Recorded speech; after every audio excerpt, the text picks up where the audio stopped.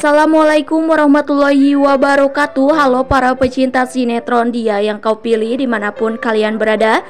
Jumpa lagi bersama dengan Mimin. Ya Seperti biasa Mimin akan menceritakan Seputar alur dari cerita sinetron dia yang kau pilih Yang tentunya semakin hari akan semakin menarik Semakin membuat kita gergetan dan juga penasaran.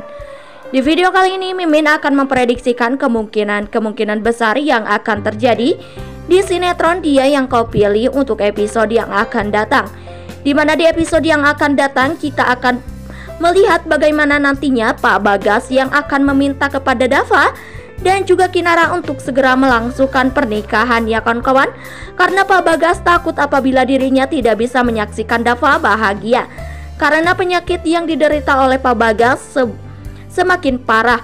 Nah, kira-kira bagaimanakah kisah nantinya reaksi dari Kinara dan juga Dava? Tonton video ini sampai dengan selesai.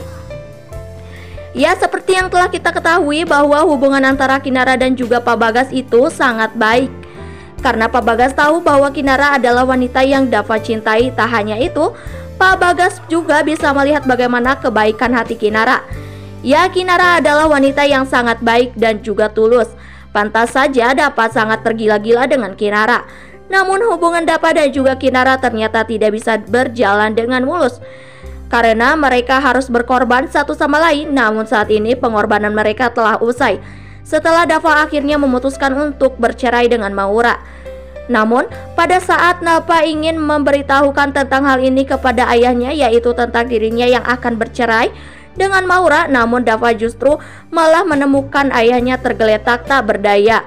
Mungkin saja Pak Bagas telat minum obat ya kawan-kawan atau bahkan mungkin obatnya habis namun Pak Bagas tidak mau merepotkan Dava. Sehingga Pak Bagas pun tidak meminum obat sehingga terjadilah hal-hal yang tidak diinginkan ini. Atau mungkin saja Pak Bagas mendapatkan perkara dan perkataan yang buruk dari Mita karena memang seperti yang kita lihat dan ketahui bahwa Pak Bagas itu sangat mencintai Mita sehingga kata-kata yang buruk dari Mita pun akan mem mampu membuat kondisi Pak Bagas menjadi ngedrop. Ya kawan-kawan apalagi saat ini Mita memang sedang menghadapi permasalahan yang cukup berat yaitu tentang Dapa, Maura, Kinara dan juga Rian. Saat Dapa menemukan ayahnya tergeletak berda tak berdaya, Dapa pun hanya bisa berteriak dan meminta tolong. Dapa takut apabila terjadi sesuatu yang buruk kepada ayahnya. Hingga pada akhirnya Dapa pun membawa ayahnya ke rumah sakit ya kawan-kawan. Saat itu Dapa benar-benar khawatir dengan kondisi ayahnya. Namun untung saja sampainya di rumah sakit dan setelah Pak Bagas mendapatkan penanganan dokter, saat itu dokter mengatakan bahwa saat ini kondisi Pak Bagas sudah stabil dan baik-baik saja. Dokter pun menyarankan agar dapat tidak telat untuk men mengingatkan Pak Bagas agar Pak Bagas selalu minum obat tepat waktu. Nah, sebelum lanjut video kali ini, Mimin sarankan agar teman-teman semua menekan tombol subscribe dan juga nyalakan lonceng notifikasinya. Agar teman-teman semua tidak ketinggalan informasi-informasi terbaru dari alur cerita sinetron dia yang kau pilih karena setiap hari Mimin akan memberikan informasi-informasi terbaru mengenai alur cerita sinetron dia yang kau pilih Tak hanya itu, Mimin juga menyarankan agar teman-teman semua menonton video ini sampai dengan selesai agar tidak terjadi kesalahpahaman di antara kita.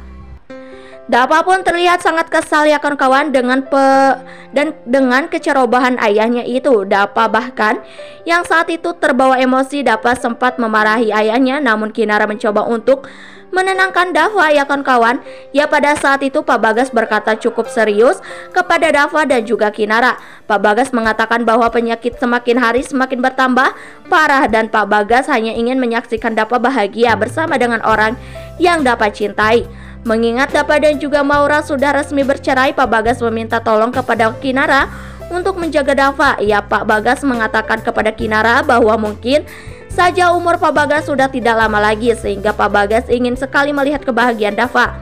Perkataan Pak Bagas ini sebenarnya menuju ke arah pernikahan ya kawan-kawan di mana Pak Bagas sangat berharap setelah masa idah dapat selesai Kinara pun mau untuk menikah dengan Dava agar Dava bisa bahagia apa Pak Bagas sangat percaya bahwa Kinara adalah orang yang tepat untuk membuat Dapa bahagia. Saat itu Kinara pun tidak ada pilihan lain ya kawan-kawan selain mengiyakan dan menyanggupi permintaan Pak Bagas melihat bagaimana kondisi Pak Bagas yang tentunya sudah semakin memburuk Dapa dan juga Kinara pun meminta Pak Bagas untuk tetap fokus pada kesembuhannya dan juga tidak memikirkan tentang penyakit mereka, pasti akan berjuang bersama untuk kesembuhan Pak Bagas.